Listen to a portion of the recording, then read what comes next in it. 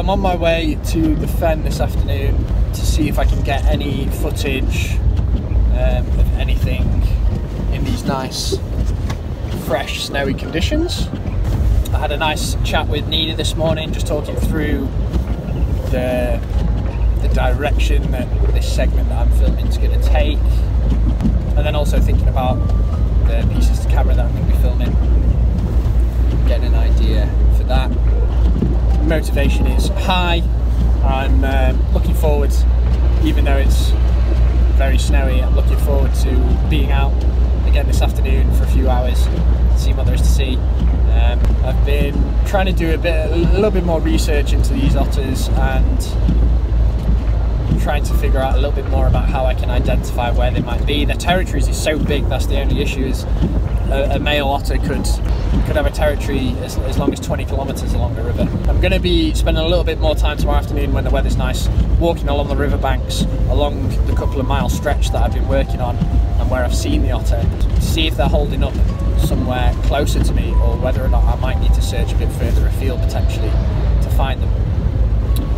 good thing about the area that I'm in and that I've seen them in currently, obviously, one, I've seen them so I know that they're there anyway. Two, other people have seen them over different periods of time in that area, so I know that they're there regularly or semi regularly anyway.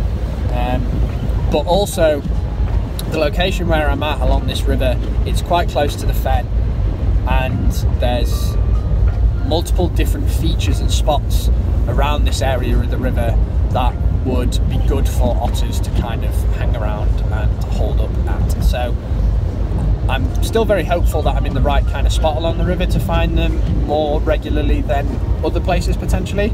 Uh, but it is just going to be a case of spending as much time there as I can to get the opportunity to actually see them there, I guess. Anyway, I'm going to um, carry on down to the fen and I will let you guys know when I'm there and keep you updated on what I see.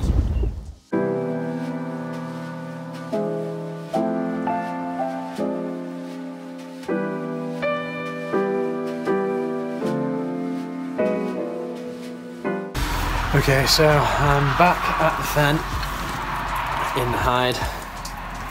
It's not as uh, white winter snowy scene as I thought it was going to be. It just looks very grey, very uh, very wet, very wintry, but not particularly like a snowy wonderland, uh, which is fine. It's still snowing now, still snowing fairly heavily as well.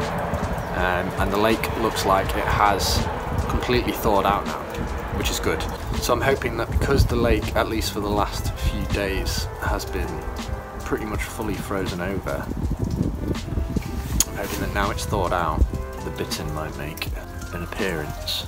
But time will tell, we will see. At least I've got the shelter of this beautiful, this beautiful hide to keep me uh, dry from the snow. I was contemplating setting up at the other side where I saw the fox yesterday sitting in my bag hide for a little bit, but it's not waterproof. I don't think I fancy sitting in the snow under a very wet piece of fabric for a few hours. Gonna finish setting up and crack on. The heron's just flying down onto the lake now. Uh, maybe not. It's actually just a flyby.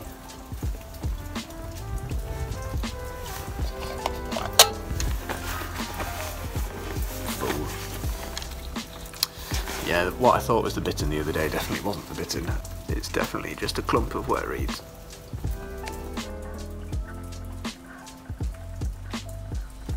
During the summer and autumn it was still difficult to spot the bittern, but it was a little bit easier than it is now because all the reeds were kind of stood tall and strong and you could see the movement between the reeds quite nicely. You could spot the bittern as it moved across in the top of the reeds as well.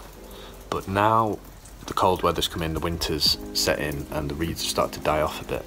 There's lots of sections within the reeds where they've fallen over and kind of created messy, messy piles, which make it much more difficult to see clearly when there's movement going on or anything like that. So, so yeah, that's not ideal, but I like a challenge.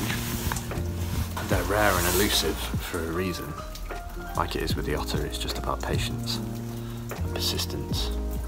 Spending time appreciating where you are and what's around you, other than those target species that I'm looking for. So, still great to be able to be here, be out.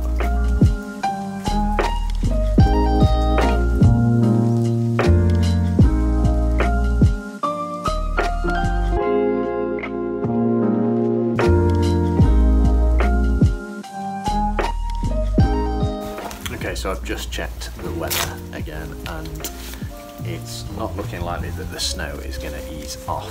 I'm going to go for a quick walk around, I think.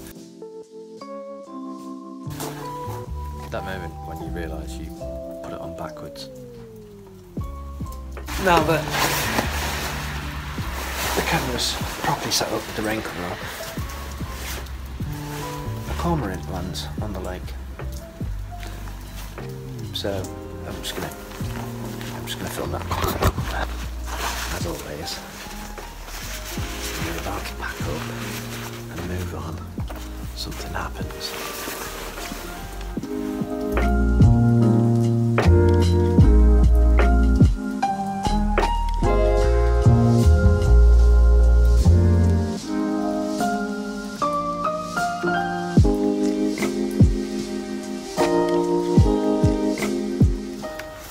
Not ideal, but we'll see. Anyway, right, now I'm going to go for a walk.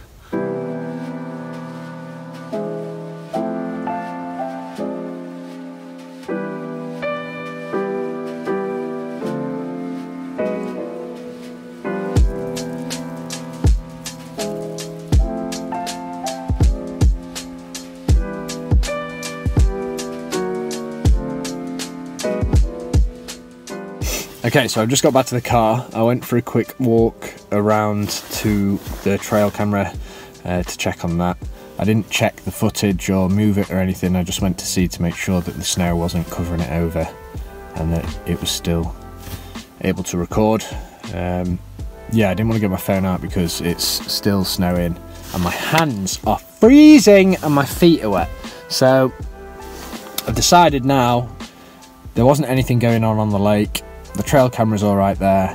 The weather's just not fun to try and be in the elements filming.